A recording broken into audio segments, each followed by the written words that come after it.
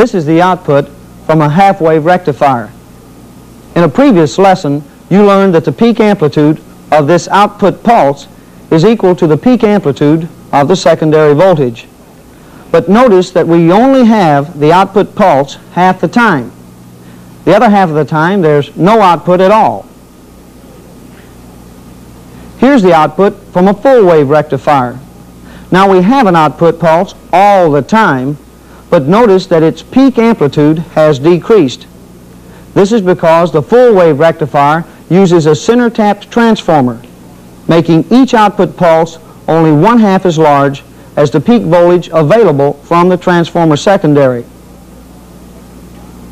Here's the output from a rectifier that combines the best features of the other two rectifiers to produce an output pulse all the time that is still the same peak amplitude as the peak amplitude of the secondary voltage.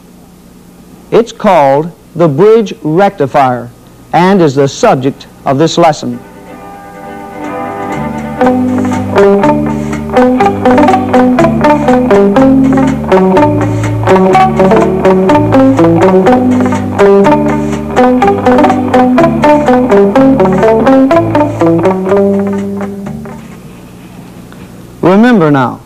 Half-wave rectifier produces all the secondary voltage, but it only does it for half the time. The full-wave rectifier produces half the secondary voltage, but it does it all the time. And the bridge rectifier that we're going to study produces all the secondary voltage, and it does it for all the time. Three different rectifiers, different outputs. And yet, they all operate on the same basic principle, electronic switching of the transformer secondary. We're going to discover this principle by tracing the development of these rectifiers. Because by understanding this simple principle, you'll be able to name each component in the bridge rectifier circuit and know exactly what its function is. You'll be able to trace current flow through the circuit. You'll know how to calculate all the voltages in the circuit. And you'll know how to troubleshoot the circuit. All these things you'll learn in this lesson on the bridge rectifier. Now you might be wondering, why so many different types of rectifiers? Well, like so many other developments in electronics, rectifiers have evolved through several stages. At first, they were simple devices because the need for their output voltages was not extremely critical. However, with the development of more sophisticated equipment, the need for more exact, more powerful output voltages arose. The half-wave rectifier is limited in the amount of current it can supply to the external circuit. Additionally, its average DC voltage output is less than one-third of its peak secondary voltage. For these reasons, its use is limited to very low power applications. Even the full wave rectifier has its limitations. Though able to supply more current to the external circuit than the half wave, it is still a relatively low power device. And because it requires a center tap transformer, only half the available secondary voltage is felt in the output. Another limitation of the full wave rectifier is the peak inverse voltage applied to each non-conducting diode. It is double the output voltage.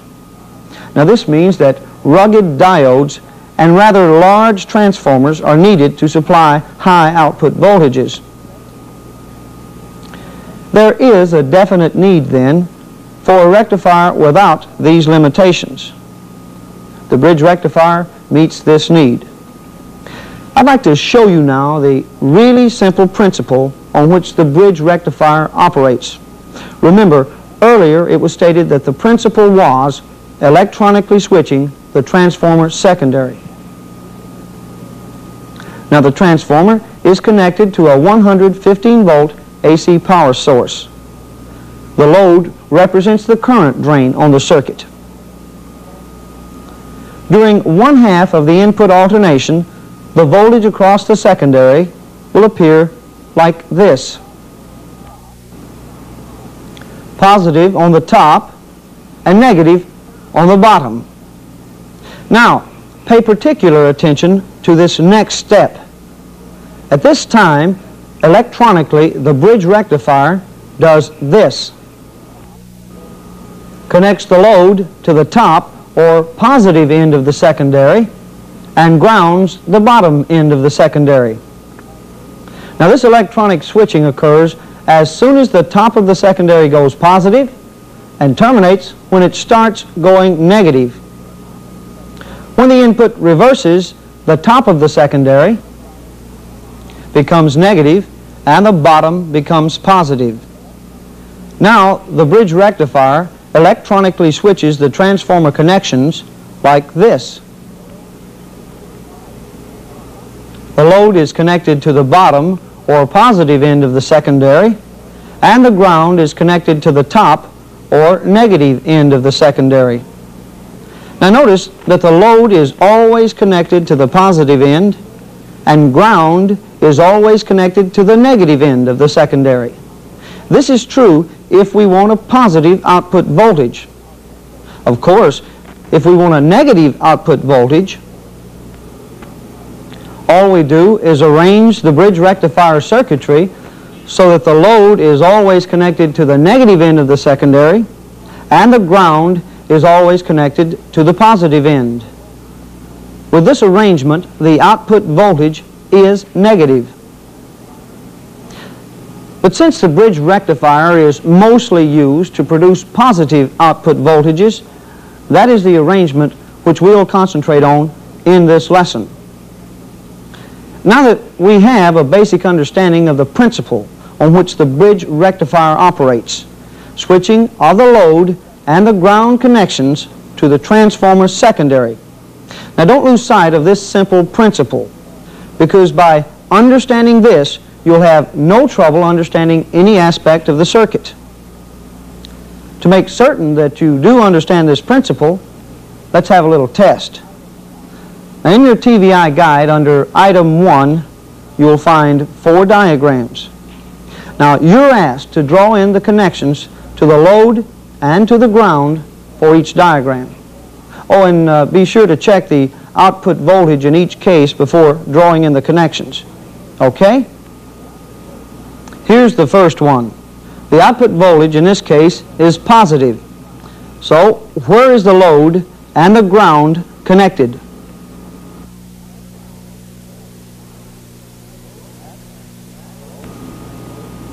That's right.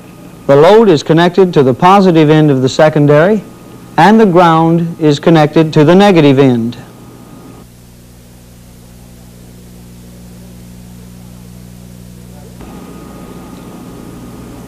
Now this output voltage is negative. So where is the load and the ground connected?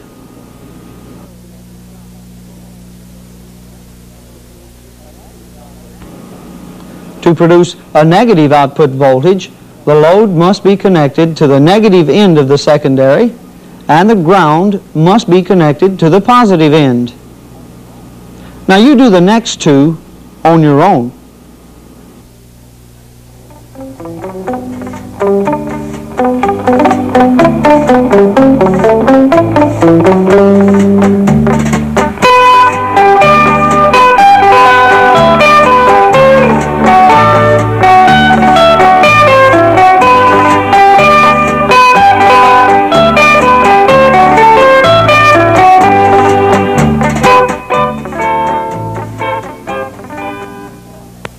Now, since everyone passed the test, let's go one step further and determine exactly how the load and ground connections are switched by the bridge rectifier circuitry. Uh, here's a mock-up that will give you a little better understanding of how this occurs. Actually, there are two switching actions that occur on each alternation of the input. This switch changes the load connections from the top of the secondary to the bottom of the secondary. And this switch connects the ground to the other end. As you can see, they work together. When the load is switched to the top of the secondary, the ground is switched to the bottom of the secondary.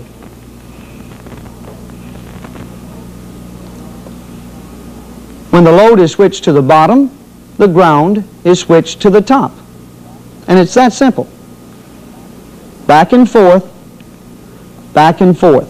As the input changes, always connecting the load to the positive end of the secondary, always grounding the negative end. Now watch as a few output pulses are generated.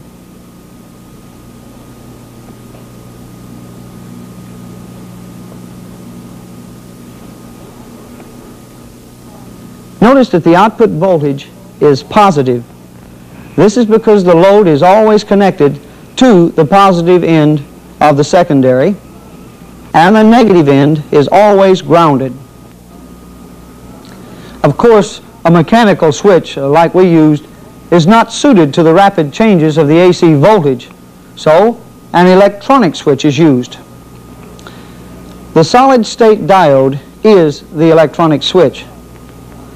As you know, the diode will conduct in one direction only. When a positive is applied to the collector and a negative to the emitter, current will flow. The diode is said to be forward biased. With negative on the collector and positive on the emitter, the diode is reverse biased and current will not flow.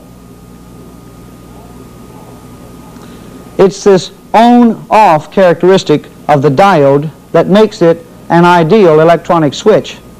So let's now determine exactly how the diode is used in the bridge rectifier to accomplish the electronic switching of the load and the ground connections. First, let's see how the ground is switched.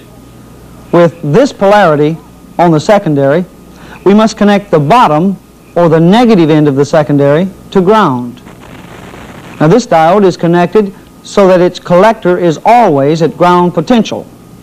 In order for it to allow current to flow, its emitter must be negative with respect to its grounded collector.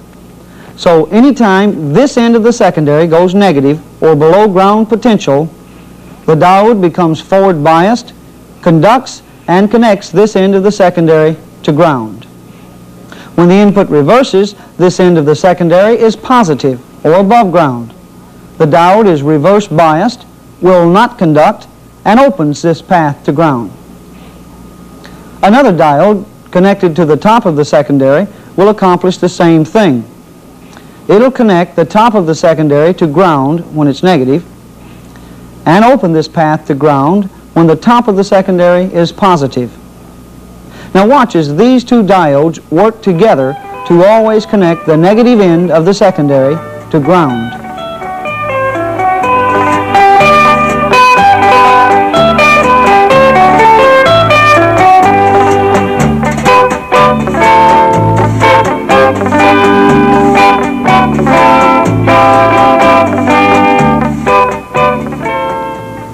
Now that's one of the two switching actions necessary to the operation of the bridge rectifier, switching of the ground connection.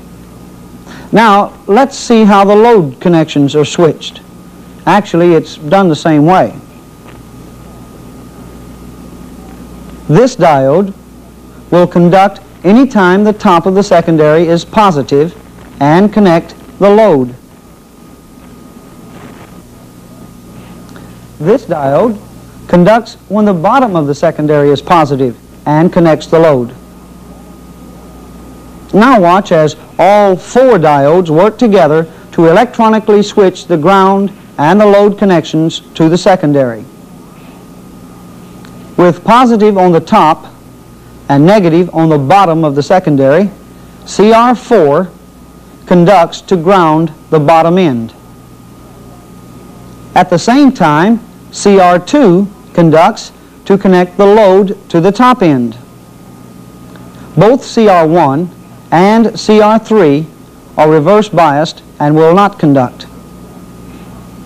Current flows in this direction up through R sub L, producing a positive output voltage for the load. When the input reverses, CR1 becomes forward biased, conducts, and grounds the top of the secondary. CR3 conducts to connect the load to the bottom end. Current flows in this direction, still up through R sub L, still producing a positive output voltage. Now notice that in both instances, current flows the same direction through the load. So the output voltage is always positive. Okay, that's how it works. The diodes electronically switch the ground and the load connections to the secondary. Now we can complete item 2 in the TVI guide. The transformer, T1, couples the input to the bridge rectifier.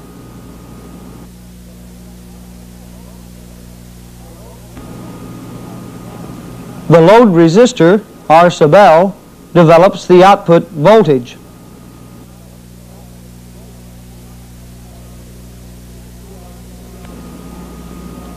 CR2 and CR3 switch the load connections.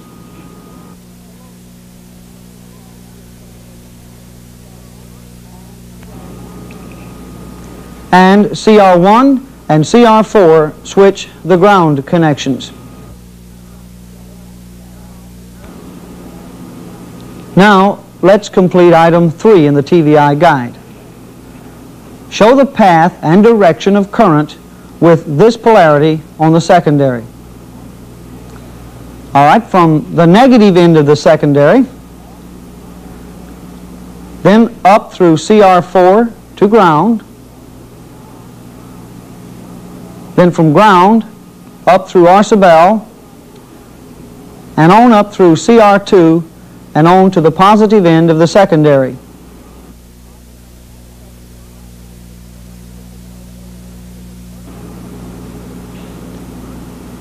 When the input reverses, current flows from the negative end of the secondary down through CR1 to ground, then from ground up through R sub L, and then down through CR3 and on to the positive end of the secondary.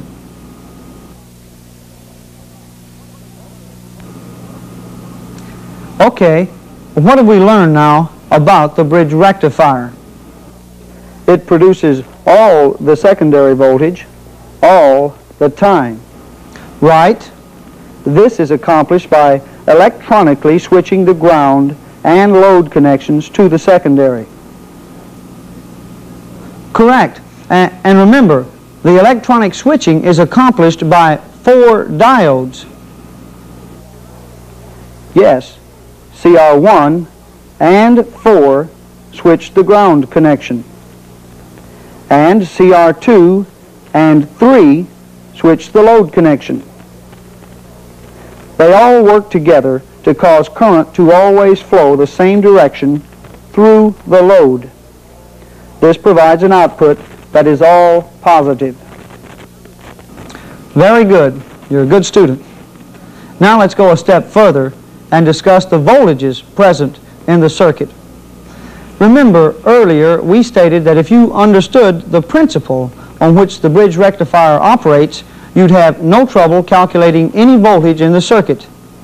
Now, I'd like to show you exactly why. With the load always connected to the positive end of the secondary, and ground always connected to the negative end, couldn't we simplify this and say that the load is always in parallel with the secondary? Look at this. Positive on the top of the secondary, the same positive on the top of the load. Ground on the bottom of the secondary, and ground on the bottom of the load. The load is in parallel with the secondary. Now it should be obvious that whatever voltage is felt on the secondary will also be felt on the load. Now knowing this, calculating voltages in the bridge rectifier simply boils down to what is the secondary voltage. Now there are a couple of points to remember when calculating the secondary voltage. First, is there a step up or step down ratio between the primary and secondary windings of the transformer? Now here we see a one-to-one -one ratio, which means that the secondary voltage is exactly the same as the primary or input voltage. A 1 to 3 ratio, shown schematically like this, simply means that the secondary voltage is three times the primary voltage. Now, if no ratio is indicated, then it's assumed to be a one-to-one. -one.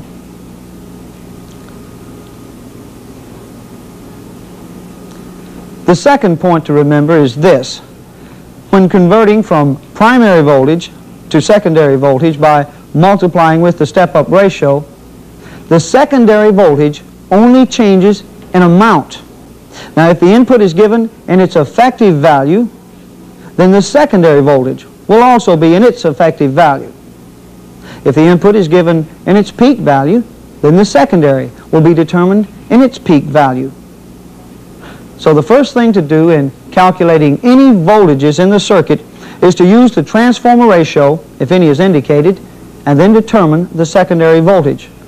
Once you've determined the secondary voltage, it's simply a matter of using the right formula to determine any voltage value in the circuit. For example, here's the formula used to convert effective voltage into peak voltage. E peak equals E effective times 1.414. These and other formulas you'll need to learn are shown under item 4 of your TVI guide.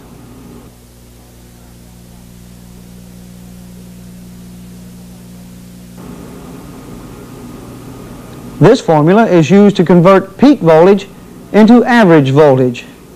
E average equals E peak times 0.636. Now remember, this is the peak secondary voltage in this case.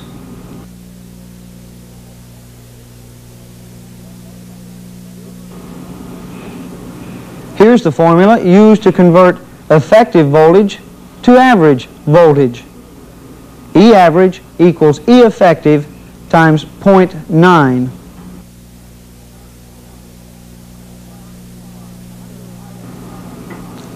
Under item 5 in the TVI guide are several problems for you to work out.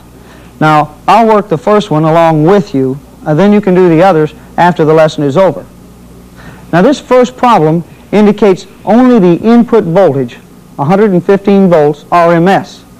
Now, that's the effective value we're asked to determine the peak secondary voltage and the average output voltage. Well, the first thing to do is determine the secondary voltage using this step-up ratio of 1 to 3. So, 115 times 3 equals 345 volts. That's the effective secondary voltage. Now we can convert the effective voltage to peak voltage. Substituting, we have 345 volts times 1.414 equals 488 volts. And that's the peak secondary voltage.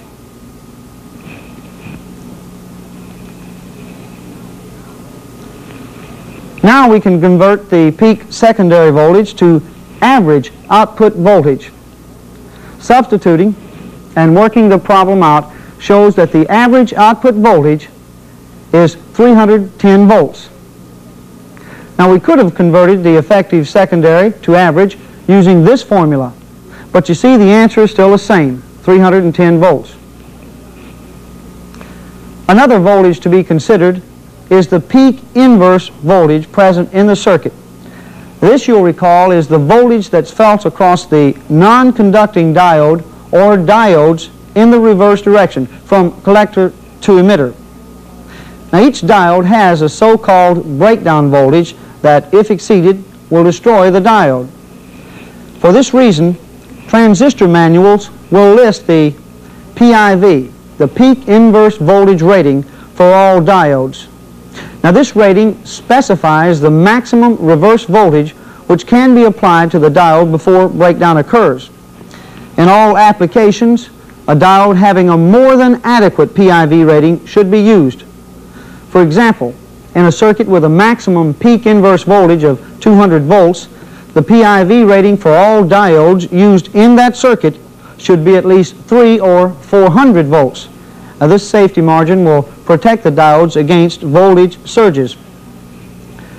To determine the maximum PIV in a bridge rectifier is as simple as determining the peak secondary voltage because PIV is equal to the peak secondary voltage.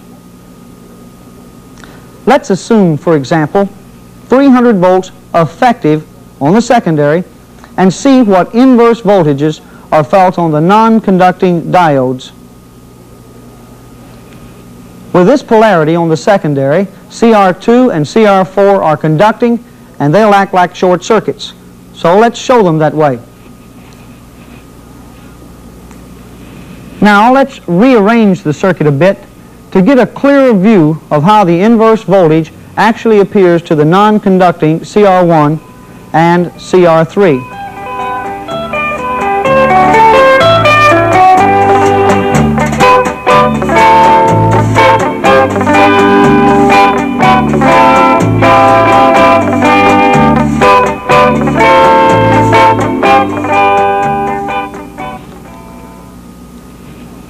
Actually, T1, CR1, CR3, and R sub L are all in parallel.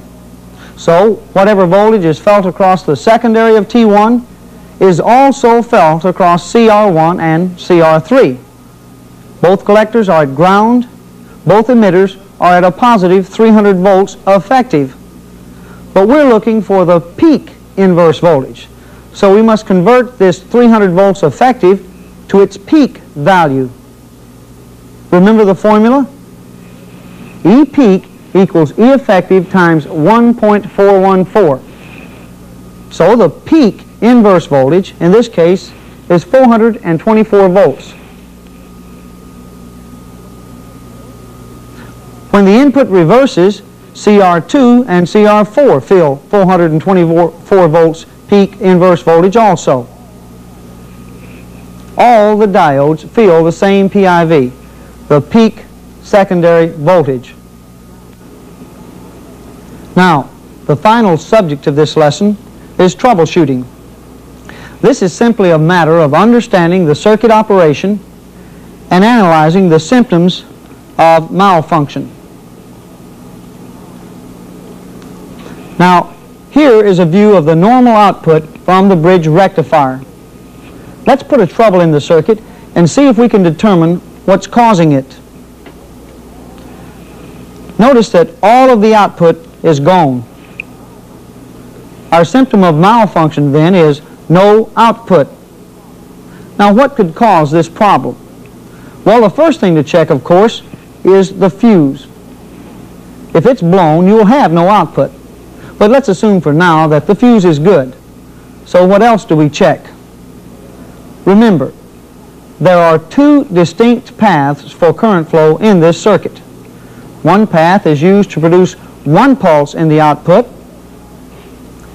The other path produces the other pulse. But notice that some parts of the circuit are common to both current paths. The transformer some of the connecting wires, and the load resistor R sub L. So it's logical to assume that if both pulses of the output are affected, as with no output, the trouble must be in some part of the circuit that is common to both current paths.